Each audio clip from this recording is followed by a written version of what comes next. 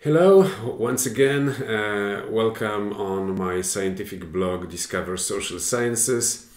And once again, a reminder that uh, if you want to read the body text of the update that goes with this video, in the description box below the video, you will find the link to my blog. So you will find the link discoversocialsciences.com you click on that link, uh, which will transport you to the site of my blog, and there you will be able to uh, to find the body text of the update with the same title as the title of this video. So that's the general rule. Now, so it was like the usual formal introduction, and now the subject matter of this update. So, first of all, a warning this update or the reading of this update is uh, for those who like really like philosophy at the frontier of mathematics. Because as you might remember if you have been following my blog for some time you remember that during the last few weeks i wrote a few updates about using uh, an analytical model an analytical method called mean reversion uh, to study stock prices and to make for myself an investment strategy for the stock market.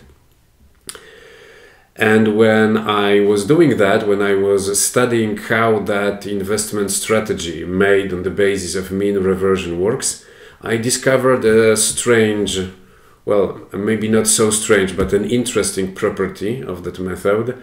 That first of all, if I make a neural network, so, so a piece of artificial intelligence based precisely on that method of mean reversion, that neural network tends to underscore systematically, so undervalue the real stock prices. It predicts lower stock prices than those that really happen in the market.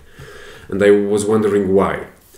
Uh, and uh, on the other hand, I've discovered that when uh, the price of something not really of stock, but for, for example, the price of some minerals in the international markets are really stationary, that method fails. If there is no visible change, that specific method fails. And I was trying to understand why, once again.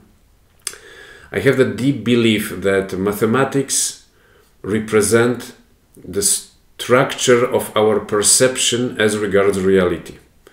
I am an empiricist, uh, so I believe that uh, what I really perceive is not reality, it is my perception of reality. Huh? That reality is some kind of essential basic stuff that is out there and that my mind doesn't have like direct, uh, direct access to. Hmm? Everything I think of is a representation of reality rather than reality itself. And mathematics show us like the way that our mind goes about perceiving reality and understanding our own perception of reality. And in this update, I dive like deep into what is called the Gaussian curve or the, or the Gaussian process. So I essentially try to understand the logic of the normal distribution or what is commonly called the Gaussian curve and I like really try to, to dive into the basic logic of uh, that equation. And in order to do that, I even went back to one of the original papers written by Carl Friedrich Gauss and presented in uh, 1827 at, an, in, uh, at a lecture with the Royal Society, uh, precisely about the theory of curved surfaces. And I discovered, or I rediscovered, something that I heard about uh, in the past that what Gauss was really about was not so much a theory of probability. So he wasn't so much about creating the theory of that bell curve. He was rather about a theory of measuring curved distances.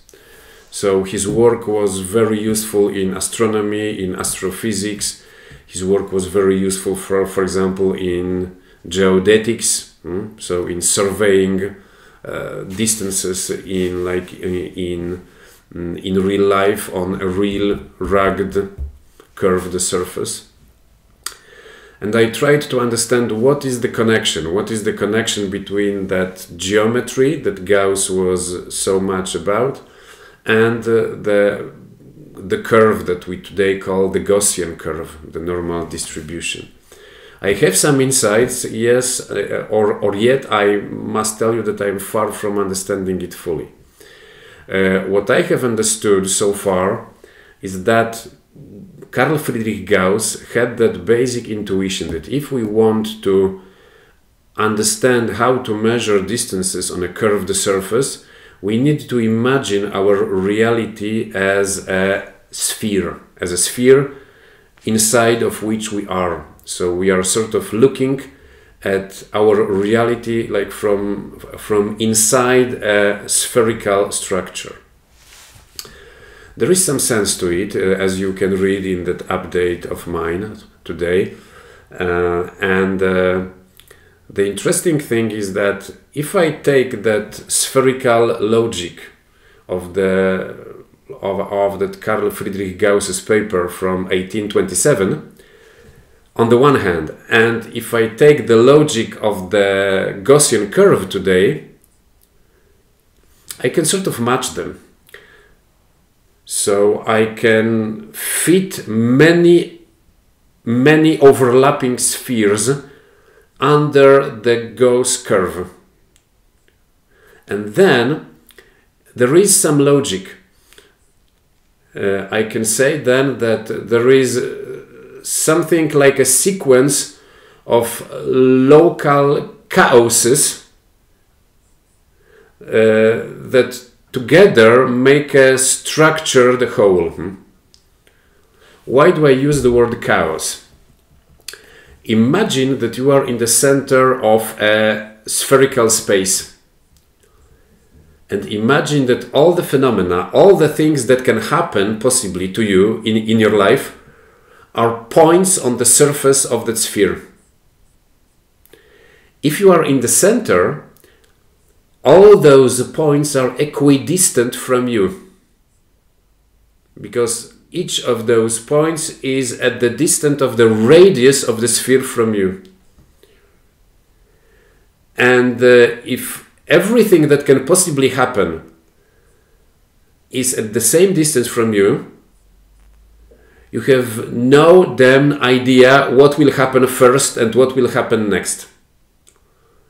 And this is for me one of the best definitions of existential chaos so that spherical logic of Gauss uh, corresponds to a worldview when we have something like a local chaos of our perception.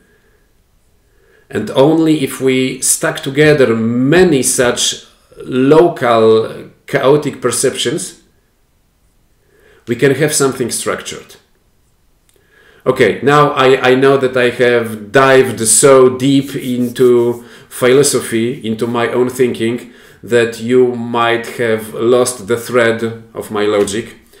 So now just relax, go to the description box below the video, click on the link. The link will lead you to the website of my blog and then or there look for the update which have which has the same title as this video and you will read more. I hope you will enjoy that intellectual walk. Bye.